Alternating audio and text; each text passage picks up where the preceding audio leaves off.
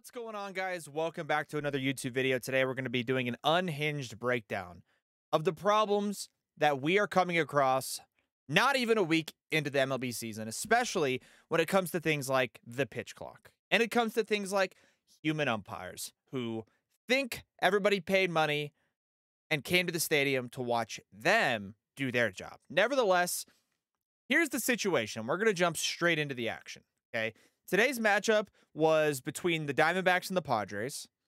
It's a Tuesday afternoon game. The bottom of the first inning.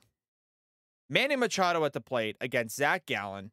Relatively entertaining star matchup. We don't really get to get the full effect of it because, you know, Gallen's got, got he's got to get rid of the ball in 15 seconds. Uh, so he's got to go. He's got to go quickly, right?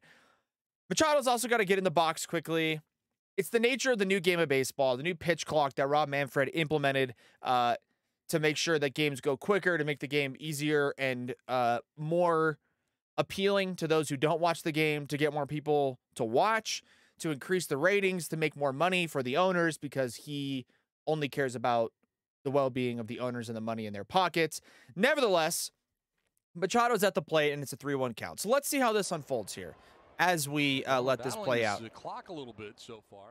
So the Padres announcer Don Orsillo, noted, incredibly talented, you know, good announcer in the sport of baseball. He makes a comment here about Zach Gallen and how Zach Gallen seems to be pushing, you know, the limits of the pitch clock. And you can see here the pitch clock is down here at the bottom of the screen. It's in the inside of the little diamond on the Bally Sports score bug. Okay, so you can see 11, 10, 9, 8, 7, 6, 5, 4, 3, 2, and then he starts his motion. So he every time he throws, so he is getting the most out of the 15 seconds here with nobody on. So Don Orsillo notices, like, yeah, he's really milking that pitch clock, right? I mean, he's starting his windup right with two seconds left. Uh, God forbid, right? And I'm not saying Don Orsillo's, but like everyone's now looking at the pitch clock because that's all that matters. That's all we care about, right? That's the main talking point. That's how you play the game. You got to go quick, quick, quick, quick, quick. So now we have 3 2. All right. Full count, two outs, nobody on, bottom of the first. Very close to a violation each time. So again, what I want you to notice in this last in this sequence here, after this pitch, so Machado swings to make it three and two. Okay, I want you to notice the pitch clock, and I'm going to count it down. 13, 12, 11, 10, 9, 8. Okay, another thing to note here. For those of you who aren't familiar with the pitch clock rules, as a batter, you need to be in the box, two feet, attentive with your eyes on the pitcher with eight seconds to go on the pitch clock. And again, note the pitch clock here at the bottom of the screen. Okay, in the pitch time 13, 12, 11, 10, 9, 8. So it's at 8 right now. It's at 8 right now. And as you can see, as we look over here, Machado is still got the old batting gloves loosened up. He's dialing it up. He's ready to go. You know, he, he's loosening them up. So we have eight seconds on the pitch clock. According to the rules, this is a pitch clock violation pitch clock violation. Therefore, it should be an automatic strike on Manny Machado. He should be called out because he has two strikes on him, and the at bat would be over. Immediately following this, okay, as you can see, there's still eight seconds on the pitch clock here, and Machado's got his hand up towards the umpire. So, in the span of that one second, right, they talk about those tenths of a second, a lot of times, like in a basketball shot clock or a game clock in the span of when the clock got to like, let's just say for argument's sake, 8.9 to 8.1, Machado went from fixing to calling and asking for time from Ron Kulpa, the umpire. He goes, man he goes to call for time. Machado thinks he gets time because the umpire goes timeout, timeout. And as you can see here, right afterwards, he puts the fist up. Machado's not ready. He's out. Wow. Strike three. So with eight so again, now Machado is going to say, I was calling for time. I was calling for time. I was calling for time. Right? Here we go. I was calling for time. He's frustrated. He goes, Ron. I, wow. No, and and Ron Kulpa, Ron Kulpa says, no, no, I didn't see it. I didn't see it. I couldn't hear you. I didn't see it. I couldn't hear you. Right? That's probably. Manny says, I was trying to call time. Here comes Bob Melvin. Right? And he's he's putting his hand up like Ron uh, Ron Kulpa, I was calling time. I was calling time. Now you'll see Machado get a little bit more animated. It's frustrating, right? He just struck out. Strike three. It's a, it's a strike. And he goes, "Man, you can't do that to me," or something like that. He says, "You can't, you know, you can't do that to me. You can't let me, you know, you can't seconds. do that." He was not ready and looking back out at the pitcher.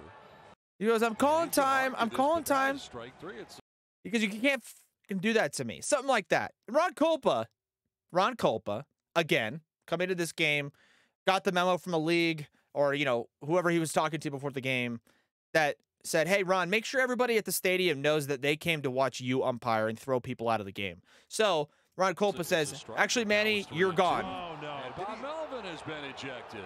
So here's the here's the pitch clock down here in the bottom right corner. 10, 9, 8. So technically, this one could go either way because as I freeze this frame here with eight seconds on the pitch clock, Machado is asking for time. Ron Kulpa basically decides not to grant it to him, or at this point, Ron Kulpa has the decision, the judgment call of did he get the call of time off in time to not violate the pitch clock rules, or was it 50-50 and he's kind of got to decide in his head right if he's going to give grant him time or not. A lot of times you see this pre-pitch clock the batter is asking for time time time and the umpire doesn't grant it to him and then the pitcher delivers the ball. Batter's not ready right? So this one could go either way.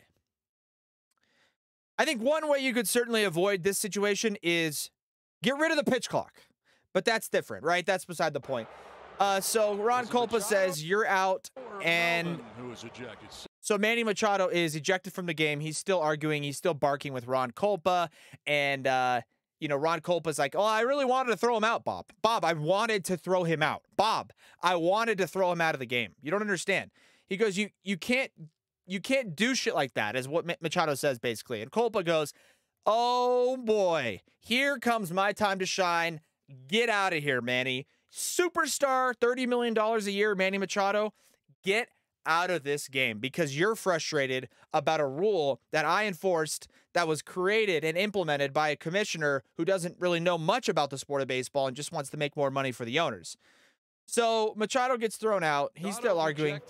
And my favorite, honestly, my, one of my favorite parts, and this is the part we'll get into with Ron, and then we'll break down a little bit more of the game, is every time let's well let's just look at this example and then we'll go into the other examples i have about ron kulpa but specifically in this situation they show ron kulpa right? He's never i you'll see in the other examples he is never never doing what umpires are supposed to do in confrontational situations like this which is to be maybe more what this first base umpire is doing diffusing the situation right if the umpire or if the manager or the player is asking for an explanation, that's one thing. But it certainly doesn't seem to be to be the case. They're disagreeing, right? Melvin, Machado, they disagree with the judgment call essentially that Ron Kulpa has made behind the plate, whether or not to grant him time, whether it was a pitch clock violation. Yet another part of the game that has given the umpires more power, more responsibility. So Melvin's disagreeing, Machado's disagreeing. And my favorite part about this whole situation is that every time they show Ron Kulpa, not only in this confrontation, but the ones we'll see shortly, he never looks like he, you know, is like uncomfortable or he's like, come on, guys, like, let's just, let's diffuse this, let's get over it. He seems to be enjoying himself. He seems to be happy. He seems to be like, he seems like, Manny, Manny, come on, man. Like, you can't. Like, let's go. Manny, Manny, I mean, come on. You really think I wasn't going to throw you out? They came out here to see me, man. Come on. But it's not even like happy. It's like this incredibly arrogant smile on his face. That is just infuriating. Oh, As we see him here, he's looking at Bob Melvin. He's like smiling right there. He's looking at him. Oh, here we go. This is probably, well, no, let's see. They show this afterwards. So there's Machado getting tossed in the first inning, by the way, of a game over dispute on a judgment call. Uh, I think this is where, right here, right here, he's talking, and Manny's probably like, "What is your problem? Like, what? Why did you like throw me out when I said you can't do that to me?" Look, look, and he's he's walks away, gives a ball to the gives a ball to the the old ball boy. He's trying to talk, you know, Bob Melvin's trying to talk to him, and uh, that's the end of it, right? So that's the end of that, right? And then we head over to to uh, Twitter, okay? And there's a few different examples here. And these are some tweets that I have pulled up. So this is Jomboy's tweet uh, and a couple different examples of uh, Ron Kulpa making a name for himself. This was a GIF that was created by uh, Boy. That was a, from a, a lip reading video that he did where he verbatim read the lips of Ron Kulpa arguing with AJ Hinch, former Astros manager. And, and Ron Kulpa is verbatim quoted here. I mean, it's as obvious as day with the lip reading. He's saying, I can do whatever I want. And no matter the context in that situation, no matter the context, that is unacceptable. That cannot happen under any circumstances. It absolutely cannot be words that are uttered by an umpire in any setting on any Major League Baseball field. Okay? So that was brought up and somebody resurfaced it on my Twitter timeline. And then as you see here, when you click on the tweet, Jomboy's saying it as in reference to uh, his breakdown of Ron Kulpa's incident and what was the impetus for that incident where he was telling AJ Hinch, I can do whatever I want. This is the incident that J- uh, Jomboy breaks down. So let's take a look here as we uh, slide my face cam over here and uh, see what exactly what, what breaks down. Okay. Game today, itching for a fight. Here's the pitch. And it might be low, it might be away. They call a strike. Immediately, the entire Astros bench is up in arms. And he's yelling right back. So again, again here, I'm gonna break this down, and and, and my face cam was blocking a little bit here as it appears. Keep an eye over here on the Astros bench. Okay, this was after the pit. The pitch had ba- has basically now just crossed the plate, right? So the pitch is not a strike. Not a strike. It's not even close. Like it's not even anywhere near the strike zone. Strike is right here. Ball's getting thrown back. Astros bench. Bunch of guys throw their arms up. Ron, what the hell, man? Really? Come on. And he's he's over there and he's ready to go. He is ready to go. What do you want? I do whatever I want. I'm Ron Kulpa. And he's got that little smirk, that arrogant underlying smirk going on as he look at him. He's like, "Look at you guys! I can do whatever I want." They all yelled right away, like, "Where's that? Where's that?" Instead of just ignoring or saying "shut up," he goes, "Wow, that's not a strike. Where is it? That's not a strike," and just yelling right back like he's yep. one of the players. Yep. And, and AJ Hinch, I'm assuming I haven't even seen this breakdown. And again, shout out to Jomboy. They do he does a great job with these breakdowns, and I'm not trying to just steal his thunder. This is an example of Ron Kulpa, and we're gonna break down what happened later on. And I'm assuming, okay, as we go through this video, and he breaks down, you know, like he, yeah, it looks like they're yelling and they're arguing and whatever. And Ron Kulpa, and oh, okay, yeah. So he's saying, don't look over here, don't look over here, right? So it looks like what's happening is like Ron Kulpa is just glaring, just glaring into the dugout because he's got issues. It's about him, right? Those fans, these guys, like this lady right here, uh, this lady, this guy, those guys, when they bought the tickets to the game, they bought the tickets because they're like, we want to go watch Ron Kulpa umpire behind home plate. That's why they bought the tickets, right? They were like, we want to go watch him. We don't want to watch uh, Mike Minor pitch for the Rangers or Tyler White taking at bat. We want to watch this guy call balls and strikes, man. It is just, it's such a thrill. So Ron Kulpa is just a man looking for problems, which is perfect and uh, suits him and his profession perfectly as a major league umpire because you know as a major league umpire he never gets calls wrong. So when somebody does want to challenge his judgment he's able to come at them and say i never get anything wrong. I'm going to smirk arrogantly at you while i tell you that i never get anything wrong and i can do whatever i want. So it looks like in this video with aj hinch he's looking over, and AJ Hinch is like, dude, I don't want, don't, why are you looking in our dugout? Why are you looking in our dugout? Don't worry about what's going on over here. There's a baseball game going on in front of your face, uh, but you don't seem to care because, again, you signed up to be uh, an instigator as a home plate umpire. Pay attention over there. And then he's pointing at somebody. Who is that guy right there? Which one? That one. So he threw out some random guy, it looks like. He just like threw out some dude. And so that's the the nature of Ron Kulpa as a as an umpire, okay? Is that he he loves confrontation. He loves problems. And that in itself is a huge problem. So now we find ourselves in the top of the sixth. Nabil Crismatt's on the mound for the Padres, uh, a bullpen pitcher who notoriously does work relatively quickly, right? The guy likes to get the ball back, he likes to get the sign, come set, and get to get this game going a little bit, which is something that I can understand and respect if you're a guy, a pitcher that likes to move quickly, right? Totally fine, no problem with me. So he just had given up uh, a hit and a run new batters walking up to the plate, and I'm not exactly sure where the timer. There is really no timer to be shown as the between batter situation, right? It's usually pitch by pitch in the little diamond here at the bottom.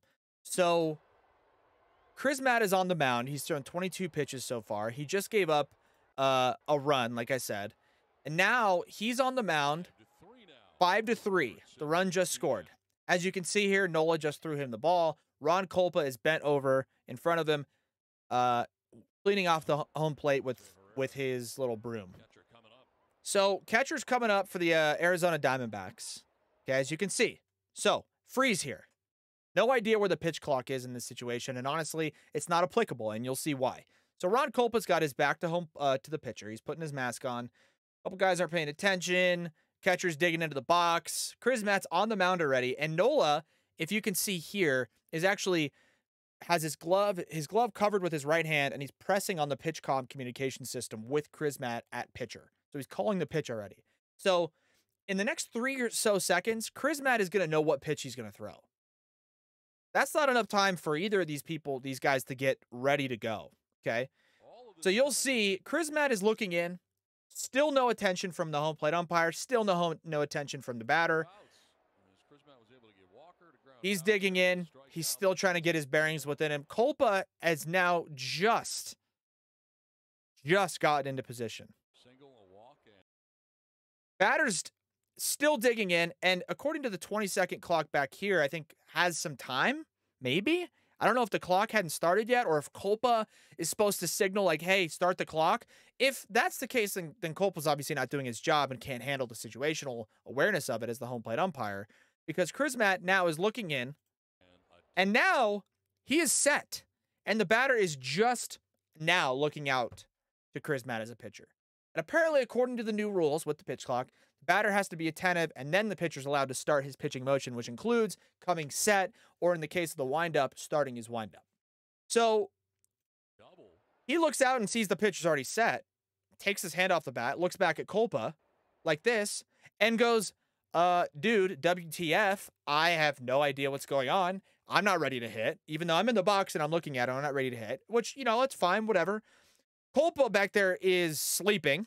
And then Crismatt is set, delivers the pitch, throws a strike. Stiha, right? 0 1.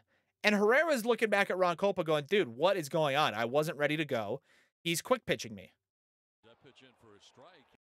Then you see Kulpa throw his hands up because Ron Kulpa isn't able to just take accountability of the fact that he probably maybe he made a mistake and instead it's just like I I can do whatever I want. And so Herrera, you're wrong. What am I supposed to do? The guy did it and I wasn't paying attention. So now and then as of course is the case, the Diamondbacks bench, which is located on here to his left, our right, is barking at Ron Kulpa going, dude, what are you doing? He quick pitched him. He came set before he was attentive and ready in the box. He wasn't able to to react in time, whatever the case may be. So now he's down 0-1 because you're asleep behind the plate.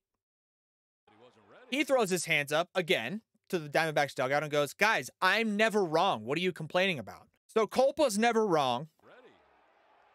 Herrera's over there looking into his dugout, looking at Kulpa, like, what do I got to do with this guy? This guy is just uh, on another planet right now. Kulpa's like, you got to get in the box. Okay. Now, as you can probably hear, right, as we turn up the game volume itself, the fans are starting to become extremely unsettled because it's like, this is just a piss fest at this point. Like, who can flex harder, right? So as we go back here, They take a listen to the fans, the griping starts to get more and more unsettled as the situation develops. Strike and Herrera said he wasn't ready. So getting into it with Kulpa now. Said he quick pitch. So then, then, as we were unable to see in this situation, Crismatt, who just delivered a strike and probably did quick pitch a little bit, right? Herrera's sitting there like, dude, what do I got to do? All of this, none of it matters because we're on the clock. We got to go. We got 20 seconds to do this. Uh, we got to get this pitch off. Crismatt knows that. Herrera's complaining, Kulpa's complaining. Now you see his hand go up as I shrink my face cam here a little bit. He calls time because apparently on the mound right now, out of frame that we can't see, Crismatt's now already set again. And of course, the batter, his face is not attentive. Pitch clock's only at 14, as we can see down here. So Kulpa calls time and is like, dude, you you gotta give him. He points, he goes, that is a pitch clock violation, I guess. Even though the time there was still plenty of time on the clock. Uh, he quick pitched him. That's a violation. He was not ready, as he points at the batter. He was not ready and attentive to hit. You got to make sure he's attentive and ready to go. You watch, and he turns around to the score booth and says one and one now. So instead of 0 and 1, now it's 1 and 1. So it's an automatic ball on Crismatt, even though the pitch clock timer didn't run out. And it seems like almost Ron Kulpa was just doing that because the Diamondbacks were upset about it. So Torey Lovullo was up on the top step complaining about it, and then Ron Kulpa was like, "All right, I guess I'll give him a ball." And then he's back out there because Crismatt's like, "What's going on? I just did the same thing twice. The first time was a strike. Second time I'm not allowed to do it, and it's an automatic ball. First time uh, you were dead asleep as an umpire behind a plate, and now you are awake and attentive because people called you out on it and said, "Hey, wake up." He just quick pitched. So Crismatt's like, "Which one am I supposed to do?" And so Kulpa goes, You have to, he's got to have his eyes on you, right? He's going like this. He's got to have his eyes on you before you can come set, right? So he goes behind the plate. All the while, the fans are like, What are we doing? What are we doing? What are we doing? So now he's set again. So Crismatt is like literally set as Ron Kulpa is just not ready to go. I mean, he's like already set. He goes, You got to pay attention. Kulpa goes back there. Crismatt already knows what pitch he's going to throw. So Crismatt's like this. Crismatt steps on the rubber and is already set. So isn't that a balk? Are the other umpires asleep? What's going on? Is that not a balk? He just came, he just came set, set on the on the rubber. Then he delivers a pitch. It's two and one. And at the end of it, the truth of the matter and the point still stands strong. And that point is the pitch clock is entirely and utterly unnecessary. It should not be implemented in the game in the manner that it is being implemented.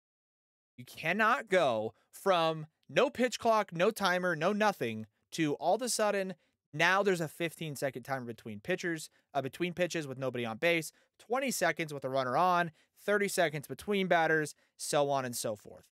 Additionally, there's a lot of different ways that these guys could go about potentially tweaking a situation like the one that you saw with Machado, like the one you saw with Chris Crismatt, etc., etc. Okay, a couple different ones that I saw that were that were relatively refreshing. One example that I saw that would potentially that would come into play and become really easy and quick and simple solution is something that was proposed by former Major League Baseball player Mark Loretta, who uh, is a special assistant to the Padres and has a little bit of a rooting interest right in that situation. But this seems to be in reference to the Machado spot where he was trying to call time, but like didn't really get it off in time, but also like he did, but it doesn't like it's it's fine. Like just relax. It's just it's baseball.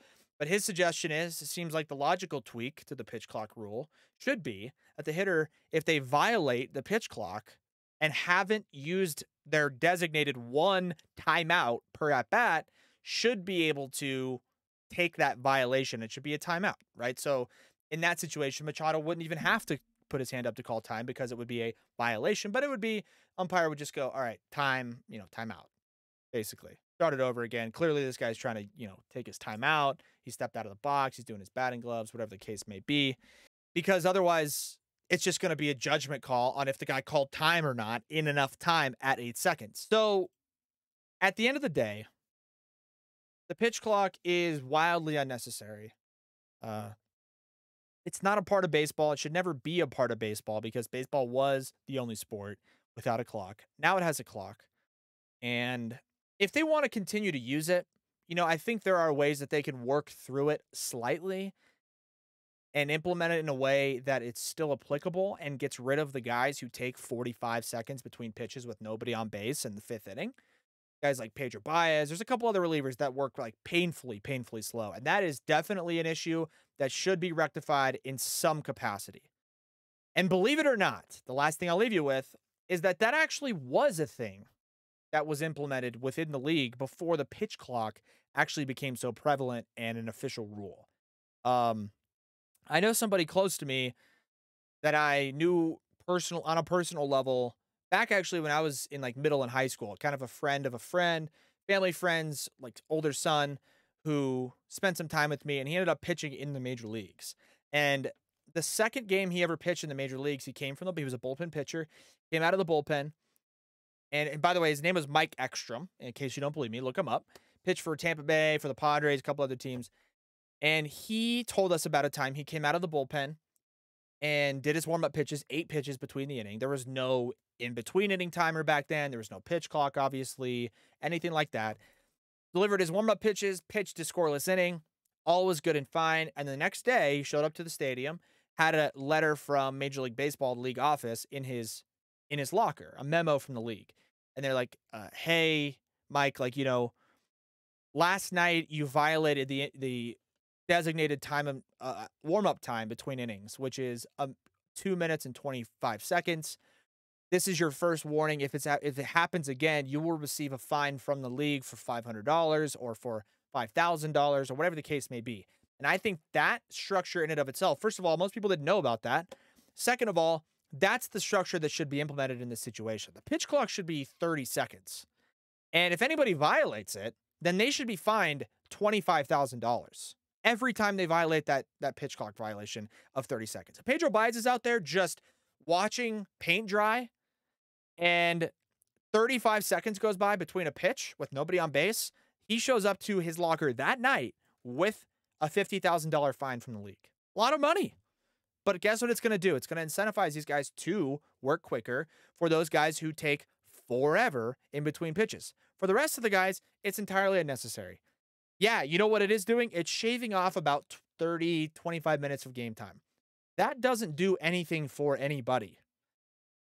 Supposedly, it's supposed to make the game more watchable or shorter or more action or more balls in play, things of that nature. I can understand that to a certain degree, but those of us who've already watched baseball and do watch baseball on a nightly and consistent basis, or go to games or pay a bunch of money to be at the stadium and sit in nice seats, we paid money to sit in those nice seats so that we could watch three hours of, of baseball, not so we could watch two hours and two minutes of baseball and guys getting sped up and not being able to be ready to go in the batter's box because they don't have any time to gather their breath after they take a big swing. You know, and these are these are certain tweaks and stuff that have apparently been passed down to the umpires. They clearly have no idea what they're doing. Some guys do, but a guy like Ron Kulpa, an umpire who is clearly already unfit for the position, getting handed another gigantic responsibility and having to sit there and manage the pace, the clock, the strike zone, check swings, catcher's interference, all these different factors that are simply just too much for a guy to handle. So, why don't we just take it out of the umpire's hands, get rid of it, make it 30 seconds universally between batters, uh, with nobody on base, and between batters with a guy on base, right? make it 30 seconds, or let's do even 25, 25 seconds, and let the game play out as it will. And also, even then, maybe let's like you could throw a little earpiece into the umpires, just like the replay system that they already have implemented, and go, hey, just so you know, Pedro Baez, guys, while you guys are umpiring this game, he's taken 37, 35, and 33 seconds in the last three pitches. you need to stop the game and go out and tell him to hurry the hell up. Otherwise, this is going to be brutal. He's going to walk into his locker with $200,000 in fines. So there's a lot of different ways we can work around it. I think number one step should be to make the pitch clock longer. Number two, if I had the choice and ultimate power, I would completely get rid of it. But that's not my choice. It doesn't matter. Hopefully, you guys enjoyed this video and the unhinged breakdown and the anger a little bit that I delivered this with because it is, in my opinion, contributing and having an umbrella effect on the game of baseball. A lot of people didn't and aren't able to quantify when it first happens, and especially aren't able to quantify or compare at the same level when they're talking about, oh, well, it was implemented in the minor leagues and it was really successful. And that's fantastic. And I'm glad that that happens. And the minor league should always have a pitch clock. Why? Because those games don't matter. Those games don't matter. Nobody cares about the Reno Aces and the Albuquerque Isotopes. Nobody cares about that game. Major League Baseball games, there's so much on the line. For an bat to be ended on a pitch clock violation and then the player to subsequently get ejected for disputing that is so unacceptable. It cannot happen. It cannot happen. One more time, it cannot happen again. Oh, it's an overreaction. Oh, you'll get used to it. All the stuff that I've heard, man, I, I heard it. I watched spring training. I watched a week a week worth of games, and it's causing so many more different issues and problems that we have to rectify that I, it's just not worth it and it doesn't do anything. Nobody's going to watch baseball now that never watched it before because the games are 35 minutes shorter. Nobody. Nobody. Nobody.